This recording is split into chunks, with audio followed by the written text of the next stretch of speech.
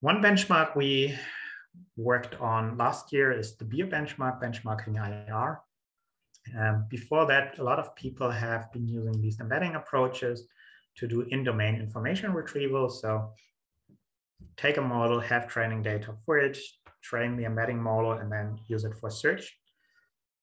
But I found it a lot more interesting to do out of domain information retrieval where you take a pre-trained model and you apply it to some other domain, some other search setting.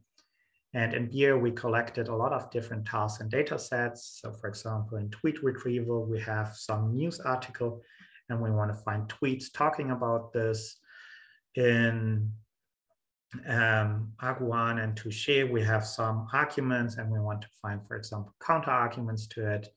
Uh, Fever, we have some claim and we want to find Wikipedia articles supporting or refuting the claim. So we collected a lot of data sets in a lot of different information retrieval settings. And then we were comparing different neural search methods against like a baseline.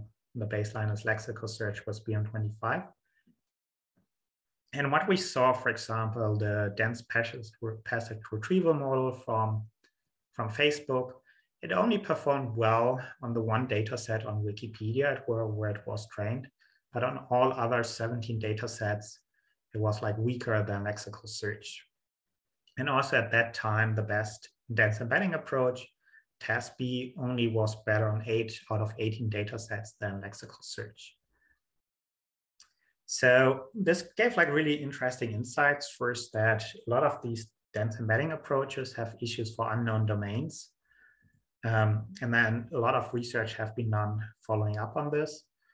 Um, also that some sparse embedding models like Splade are work much better for unknown domains. Also the best approach, BM25 with cross-encoder and doc-T5 query, extreme stable and robust across domains. And this gives like new insights, which really leads to like an improvement um, of the models. So, yeah, so, so, so what, yeah, that's pretty much what, what I summarized in the previous slide. So in domain, that's what people did before. We saw dense model work extremely good, so plus 18 points performance, but then out of domain, these dense models work not that well by recent dense models, they became really strong.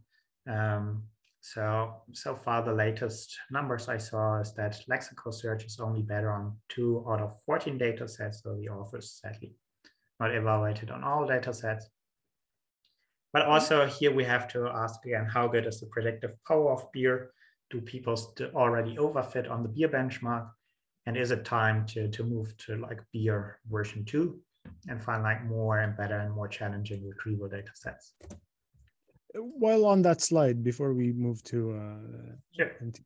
so just to clarify a couple of um, uh, of the ideas here. So one, when we say dense model, so that is you know when you create um, a vector for each document that you're searching, and then you have a uh, whenever you get a query that you turn that into a vector and then you do a, a nearest neighbor is that the general sort of definition of dense model that you're using here?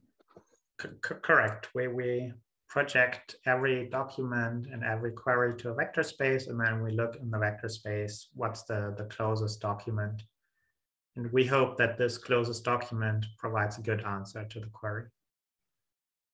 Okay. And then like one of my takeaways i don't know if that was obvious to people before is that this uh, it was probably um i guess to frame it in a question why was it uh, why was BEIR uh, built so it uses data sets from different domains? Like was it clear uh, or was it a suspicion that it's challenging for dense retrieval to do this domain adaptation stuff let you train a model on i don't know legal and then it can't search wikipedia um, so, so that was not the intuition before. So uh, it was more putting numbers to a feeling. So before people working in domain, in this in domain setting, so this is the MS Marco data set, and say, okay, we train on it, we evaluate on it, and show, okay, we have like extremely high boost in search quality.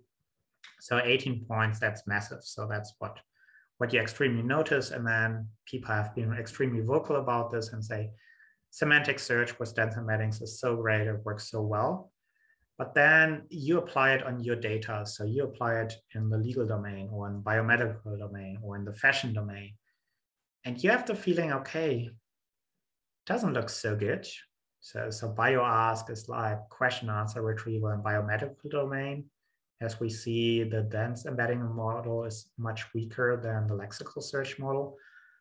So, and this is like just a feeling. So, so you read all the papers, say, hey, that's that's amazing, that's a new thing. But why does it not work for your case? And here we we put numbers to this feeling and really showed, okay, um, it's not only you, it's not only your feeling, but yes, the, the models, they have challenges in, in out of domain settings. And this insight, putting numbers to it, spin up a lot or inspire a lot of new research. People investigating, okay, why are dense embedding models so strong in domain and so weak out of domain? So one thing people found is like in domain, you have like a really high train test overlap. So most test queries have been seen in training time. And then obviously these learned models work extremely well if they have seen uh, this. Also, people showed like out of domain words, like unseen words, what's the impact that dense model extremely struggle with unseen words. And this gave like a really lot of new insights how to better train these models. Like see, okay, how can we create better benchmarks so, so that the test and train set is really separate? How can we deal with like unknown words and so on? Okay, and to people who are new to this kind of of uh, these kinds of data sets, the um, documents are they short enough to fit within, let's say, the token limitation, or are they broken down into uh, smaller yeah. chunks? How is that sort of dealt?